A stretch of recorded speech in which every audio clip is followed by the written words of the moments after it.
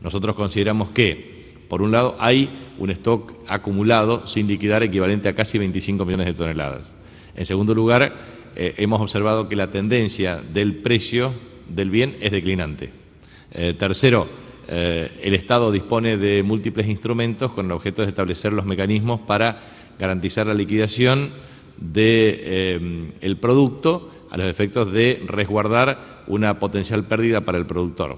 En consecuencia, nosotros lo que consideramos es que deberían generarse todas las condiciones para que en este trimestre no solamente exista expansión en el volumen total liquidado, sino también un ingreso eh, más significativo en el volumen total de divisas. Por tanto, eh, nosotros a partir de hoy, por la tarde, tenemos este, una agenda bilateral eh, con las distintas compañías a los efectos de verificar las metas de liquidación de exportaciones, porque entendemos claramente que es marcadamente insuficiente. Eh, nosotros hoy tenemos una cosecha que es superior a las anteriores y tenemos la tendencia de un precio sustancialmente inferior con tendencia declinante. Por lo tanto, no hay motivo para ningún tipo de especulación, porque el perjuicio es eh, para el mismo productor.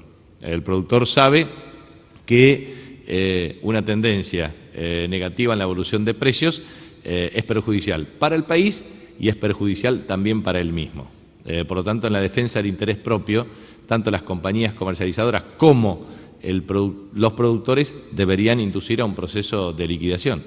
Y la verdad es que nosotros siempre lo hemos puesto con mucho énfasis. Entendemos que existe una tendencia especulativa Entendemos también que esa tendencia especulativa no está fuera del circuito de circulación por parte de las empresas eh, comercializadoras, que esto es atentatorio contra el interés nacional y el interés de todos los argentinos, porque en definitiva hemos tenido menor ingreso de divisas al país. Y menor ingreso de divisas al país por actitud especulativa significa que, primero, muchos camiones han realizado menos fletes muchos camioneros han eh, eh, obtenido menos ingresos. También la flota fluvial, o lo mismo que el sistema ferroviario, o lo mismo que muchos trabajadores que trabajan en la estiva de cargas. O eh, del mismo modo, este ingreso adicional de divisas implicaría obviamente también un impacto muy favorable al desenvolvimiento de otras actividades económicas de carácter conexo.